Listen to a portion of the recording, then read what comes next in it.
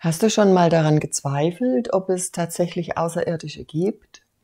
Oder bist du vielleicht um Menschen, mit Menschen umgeben, die sagen, hier, die Spirituellen, ihr habt ja alle einen Schuss, Außerirdische gibt es nicht. Nein, nein, nein. Dann kann ich dir sagen, stopp, halt. Ich habe einige Beweise gesammelt, die das Gegenteil belegen, die also uns bestärken, die wir daran glauben, dass es Außerirdische gibt. Äh, und das, darüber werde ich jetzt natürlich gerne berichten und ich freue mich sehr, dass du da bist.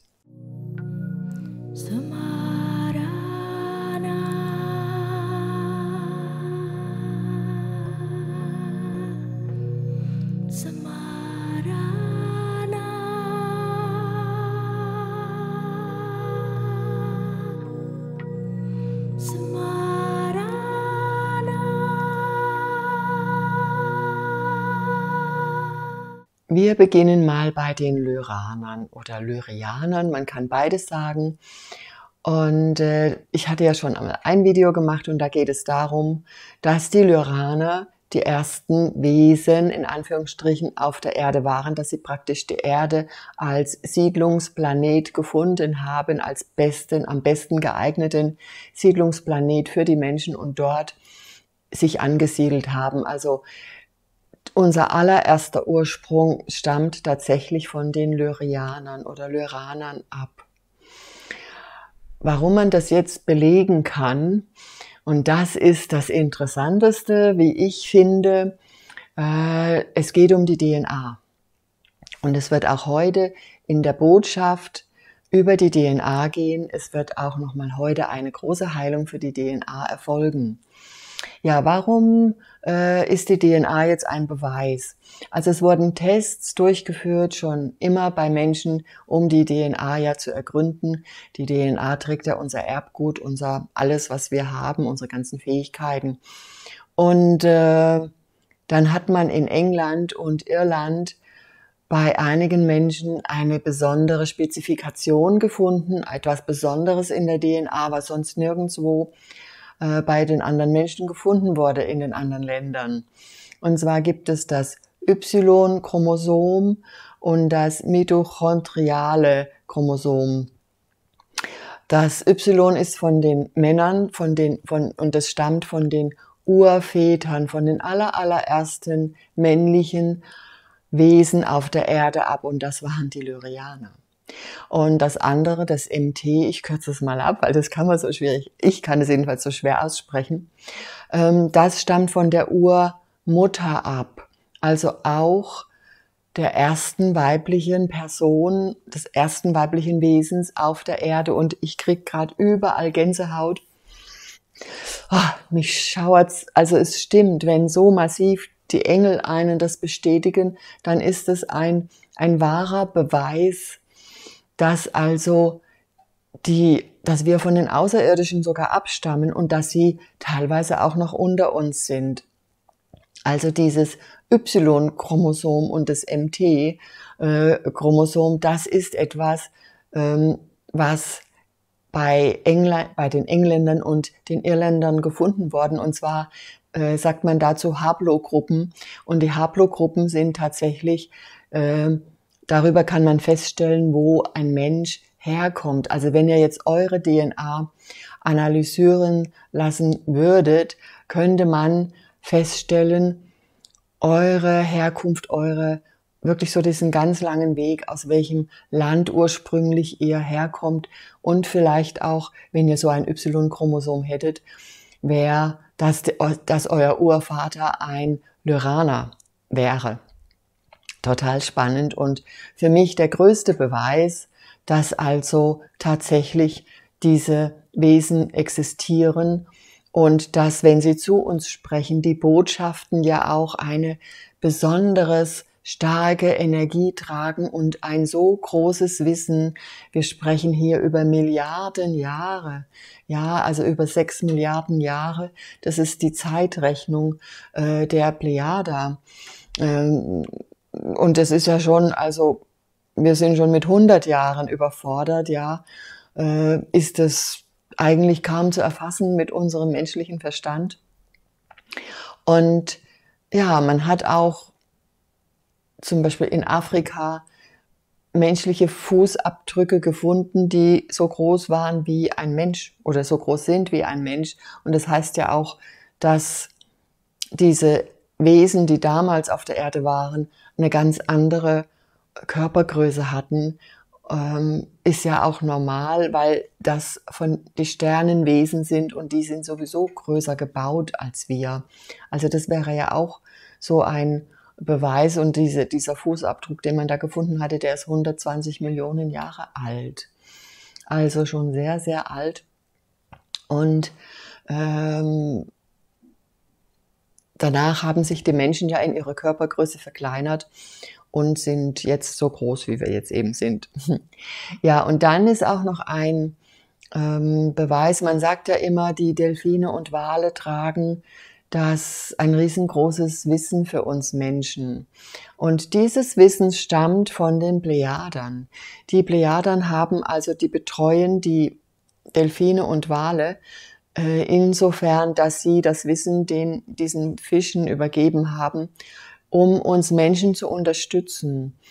Und zwar haben ja die Plejader auch eine sehr schwere Zeit durchgemacht und sie sorgen sich äh, für uns, dass es uns nicht auch so geht. Und deswegen kommen sie also tatsächlich mit ihren Botschaften auch auf die Erde, um uns zu unterstützen, energetisch zu unterstützen, wo es geht. Das ist ein Anliegen und ähm, wir können das gar nicht so erfassen. Und es sind auch, man sagt, noch viel zu wenig von den Lichtarbeitern, die daran glauben, oder anders gesagt, die sich jetzt diesen Botschaften Schaften öffnen und die annehmen. Denn es ist wichtig, diese Unterstützung. Überlegt mal, welch große Weisheit da drin enthalten ist in so einer Botschaft von diesen Wesen, die ja schon so lange leben, äh, so lange existieren und uns so toll, so richtig gut unterstützen können. Auch gibt es sehr, sehr viele gute Heilmethoden. Da kann ich jetzt nur mal an die Aktorianer denken. Die haben ja, äh, so, sie sagen ja, sie, sie studieren unser menschliches Leben. Sie sind deswegen auf der Erde, um uns eben äh, genau zu studieren, um uns ganz intensiv kennenzulernen. Jetzt in diesem Zeitalter wieder, um uns dann zu unterstützen. Ja, das ist eine ganz großartige Hilfe und von den Aktorianern haben wir auch sehr viele Heilmethoden schon bekommen, die schon lange existierten und die aber über die Aktorianer und auch über die Plejade auf die Erde gekommen sind, zu uns, die wir dann nützen können.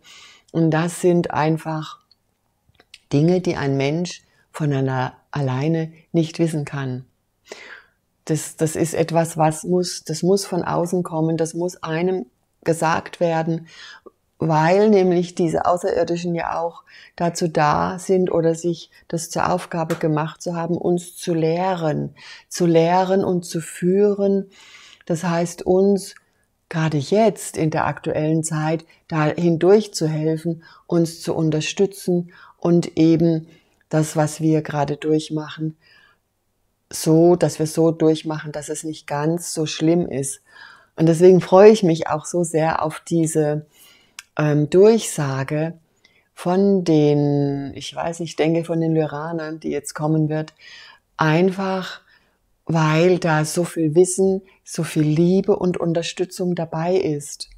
Auch wenn man weiß, dass die Lyraner eigentlich früher ein ein sehr ähm, maskulin orientiertes Volk ist, dass sie so eher, also nicht so sehr gefühlvoll sind, wie wir jetzt sind. Aber das ist ja auch, wenn ihr diese Milliarden von Jahre mal anguckt, eine Entwicklung, die eben die menschlichen Wesen dann äh, durchgemacht haben. Aber der Ursprung ist eben einfach große Kraft große Kraft und die Fülle. Und das sollten wir nie vergessen und, und wissen natürlich, ganz großes Wissen, wie man am besten durch die vielen schwierigen Zeitzyklen durchkommen kann. Und deswegen sind auch die Lyrianer zu mir gekommen und deswegen ist heute dieses Thema von dem Video für euch einfach äh, um euch die Augen zu öffnen, um euch sicher zu machen, ja, es gibt sie und ja, sie sind unter uns und manche von uns stammen von ihnen ab. Und das gibt mir so eine Freude, eine Riesenfreude.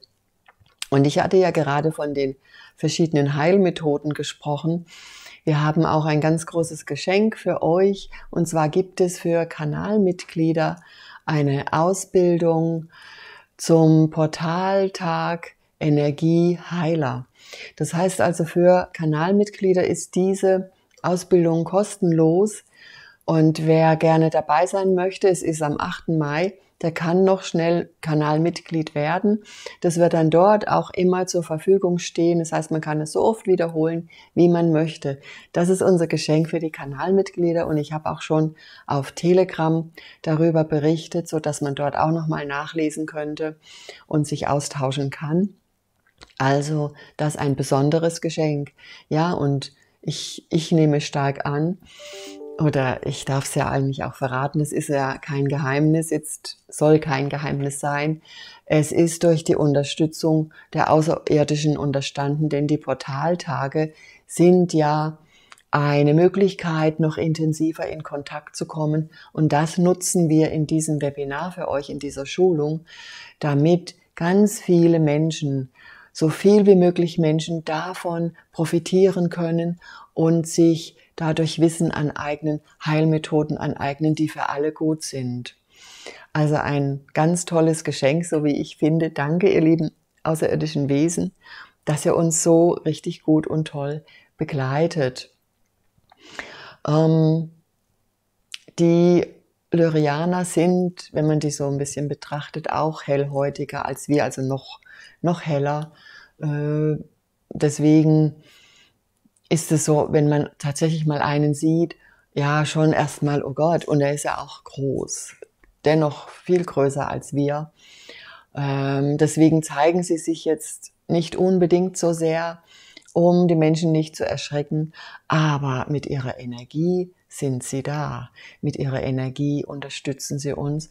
Und jetzt werden wir gleich wieder eine ganz wundervolle Botschaft hören. Ich freue mich richtig sehr darauf und äh, ich wünsche euch auch ganz viel Spaß und Freude dabei.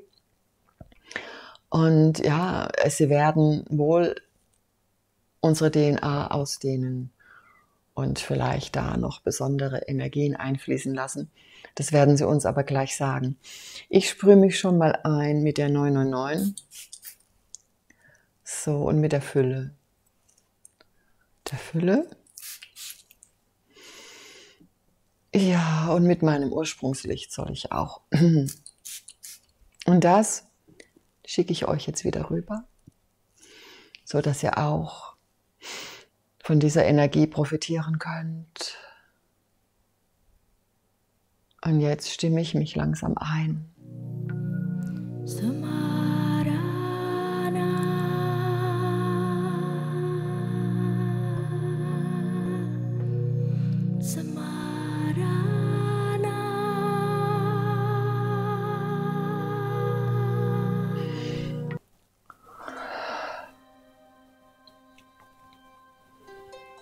Ich bitte um die Energie des Schutzes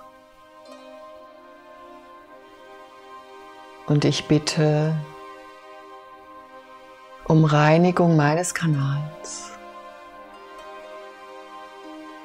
Und ich bitte auch um Schutz für jeden Einzelnen, welcher gerade zuhört.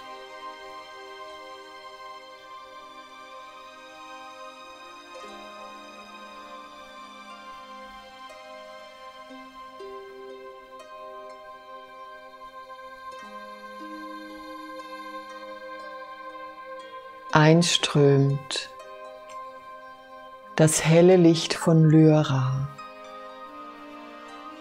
Einströmt das Wissen und die Kraft von Lyra.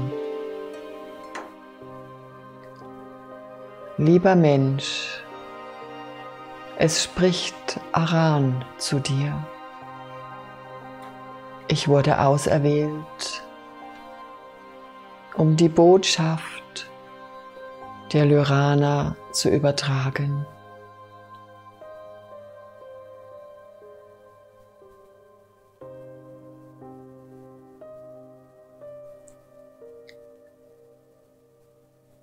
Und so manifestiere ich meine Energie, sodass du mich fühlen kannst. Ich bin sehr vorsichtig, denn ich achte deine Energie und dein Licht.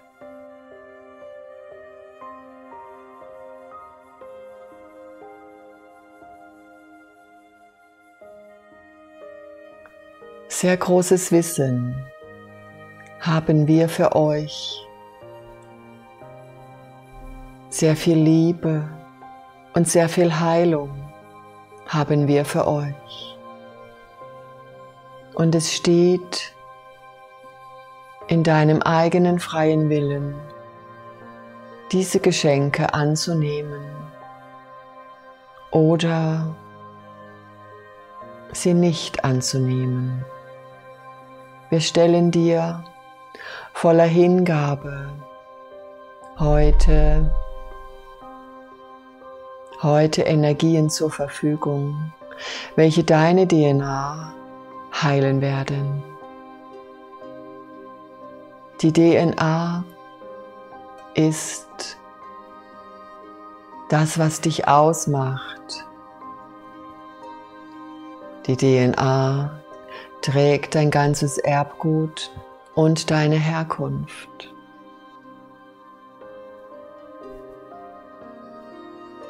Sehr viel Wissen und all deine Fähigkeiten sind dort gespeichert. Und so hat sich im Laufe der Zeit deine DNA leider zurückgebildet. Aus diesem Grunde darf ich heute Heilung für dich übergeben. Und wenn du es erlaubst, lieber Mensch, dann wird nun heilende, regenerierende Energie in deine DNA einfließen.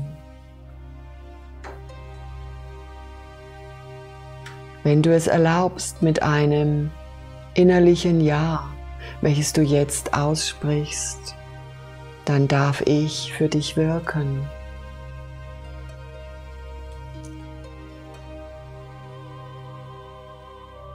Und so führe ich dein Energiefeld deiner Seele an die Stelle auf der Erde, wo du zum ersten Mal über deine Ahnen inkarniert bist. Dies ist ein sehr langer Weg und ist mit menschlichen Gedanken, mit dem Verstand nicht zu verstehen. Und so lass es geschehen, dass wir dein Energiefeld, deine DNA sanft und behutsam tragen an die Stelle, wo du selbst das erste Mal über deinen Urvater, über deine Urmutter inkarniertest. Es geschieht über die Linien der Zeit und es geschieht voller Behutsamkeit und mit dem größten Schutz. Und jetzt wird dir das übertragen, was deiner DNA fehlt, was du verloren hast, die Energie deines Urvaters und deiner Urmutter fließt nun zu dir.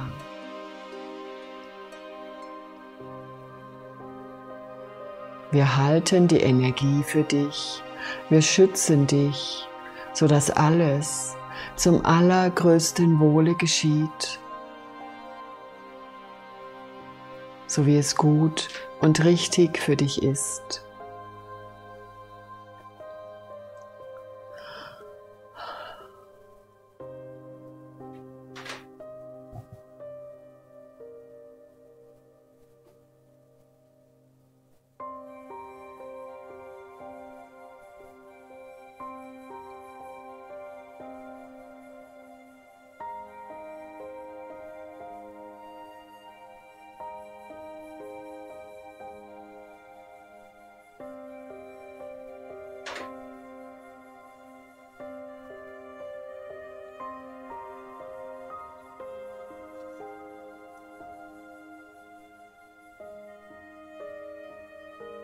Es ist ein Bad der Heilung für deine DNA. Und die Energien strömen so zu dir, wie es gut und richtig ist. Es ist ein Beginn für eine große Heilung. Und du bist eingeladen, so oft wie du möchtest, mit unserer Hilfe diese Heilung zu bekommen. Wir stehen dir zur Verfügung mit unserer Liebe und unserer Kraft.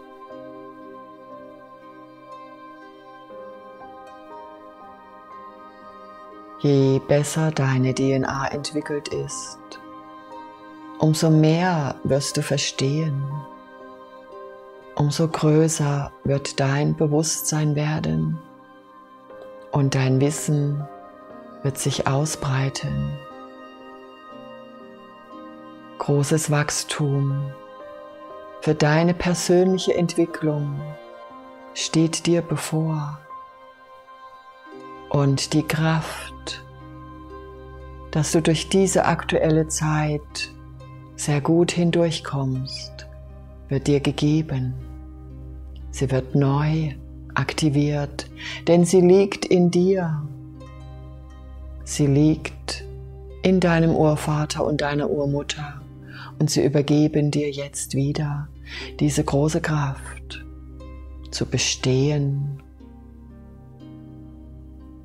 sich weiterzuentwickeln und sie erinnern dich auch daran, dass du das Liebesband zu der göttlichen Schöpferkraft trägst, durch die alles erst möglich ist. Und so stärken wir jetzt das Liebesband zu deinem Schöpfer. Dehne dein Herz aus, richte dich aus und erkenne, dass du ein Teil von Gottes Liebe bist und dass diese Liebe der Ursprung von allem ist.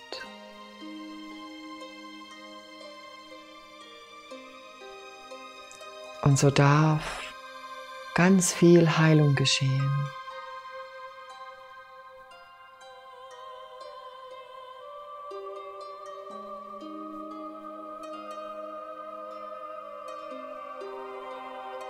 Vielleicht fühlst du dieses neue Gefühl,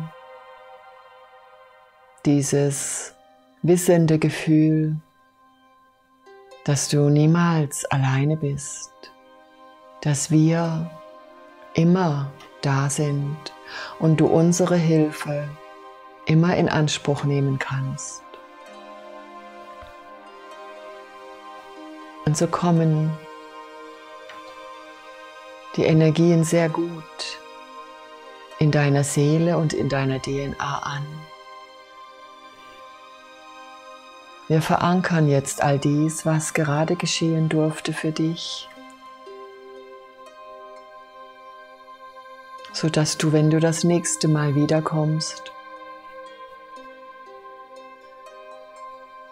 ab dem Moment beginnst, mit dem du heute geendet hast eine stetige Ausdehnung deine DNA. Eine große Regeneration hat stattgefunden.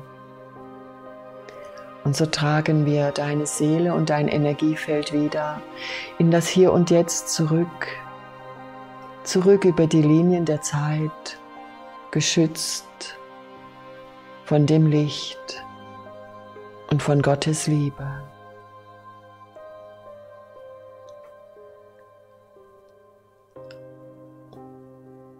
Du bist nun ganz wieder in deinem Hier und Jetzt. Und ich, Aran, verabschiede mich voller Liebe und Achtung, Achtsamkeit, mit der Würde und dem Lächeln eines Lyraners.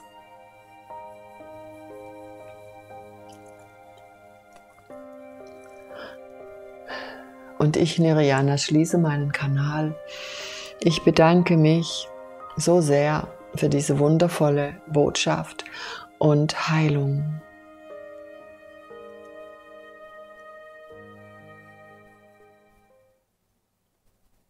Na, seid ihr wieder da? Hoi, das war toll. Ein so schöner Ausflug. Ein, äh, ein so großes Feld. Und die, der Urvater und die Urmutter Welch tolle Verbindung. Ich bin gespannt, was ihr dazu schreibt. Und ihr habt es ja gehört, ihr dürft wiederkommen. Das ist wundervoll. Ich danke so sehr den Lyranern, den Lyrianern, dass dieser Kontakt hergestellt wurde und ich euch Botschaften überbringen darf. Und ich wünsche euch eine wundervolle Zeit. Bis zum nächsten Video. Bis dann. Tschüss. Eine Umarmung. Eine Umarmung.